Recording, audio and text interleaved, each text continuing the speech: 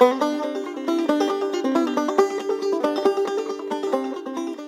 everyone, I'm Russ Carson, and welcome back to 81 Crowe. Now, today I have something very, very dear to my heart and special to me that I want to share with you guys. And it's a project that started 17 years ago with my father, Glenn Carson, and our friend Reed Martin. Now, Dad had a job site around the Washington, D.C. area, which was conveniently located close by to Reed's house in Cabin John. Now, Reed is one of the best banjo players that you most likely have never heard of, and he absolutely blew the roof off the old time banjo playing community when he released this project. This is a monument and a complete triumph of, of old time music. He and Don Anderson sat down in, in his living room and, over the span of seven hours, recorded 60 tunes. Now, for the actual project, they whittled that down to 37. But the CD is unbelievable.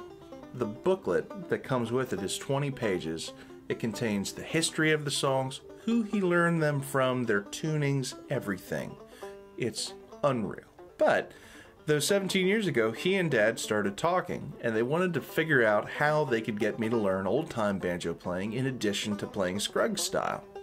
So the solution that they came up with was Dad stopping by Reed's house two times, the end of 2002 and the beginning of 2003, sitting down in the same living room where the project was recorded, and having Reed break down his style of old time banjo playing and also playing through a numerous amount of the tunes on the project. I've been working hard to digitize this stuff, and I want to share with you now a sample from one of those sessions. And it's a great example for you to see how Reed's mind works. We're going to take a simple song like Red Wing, and we're going to Martinize it. Hope you guys enjoy it. Here's Red Wing. I guess one of the tunes I learned on the streets of Bloomington when I was a kid was Red Wing, and that's a big fun one to play around with because you can do all kinds of crazy stuff. Yeah, Uh, Red Wing started out as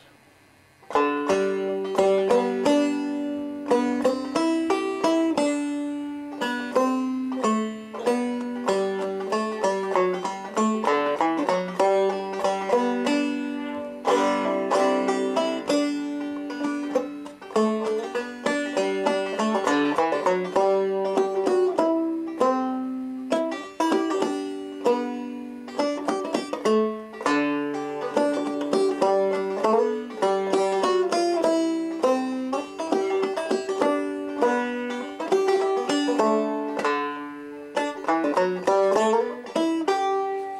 then I had to, you know, it just seemed, there were these little spaces that could use like, and then you can do a hammer-on involving the third and fourth string, so it goes like this.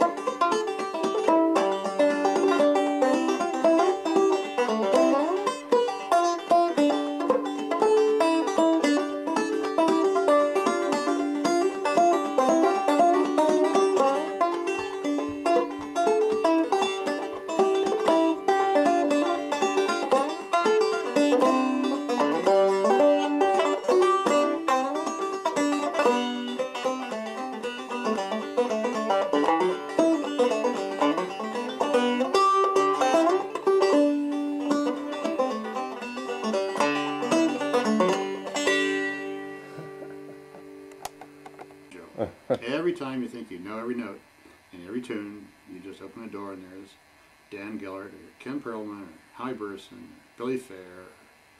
There's so many great banjo players. Rick Lee, I can name them forever. They're just uh, so many wonderful banjo players, and they all have musical brains that are different. And it just never ceases to amaze me. And I was thinking the other day, yesterday morning, I woke up and I was thinking about a guy named Chris Coole who lives in Toronto, Canada, who's another great up and coming. He's there. He's already, he's a great banjo player. He's a great banjo player right now.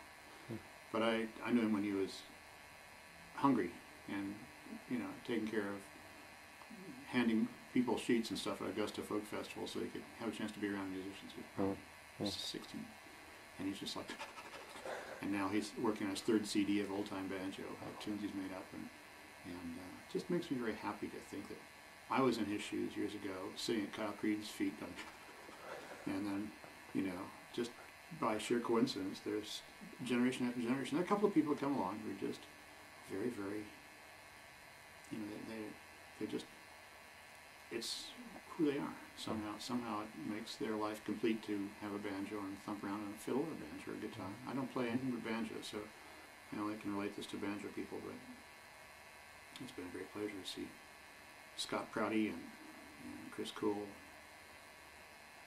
slowly taking over the generation behind me of, you know, the next generation of musicians. There's some great musicians, and Jeremy Stevens, and so many people are. It's a real privilege to meet them and watch them grow, and hope and pray that they uh, have great lives.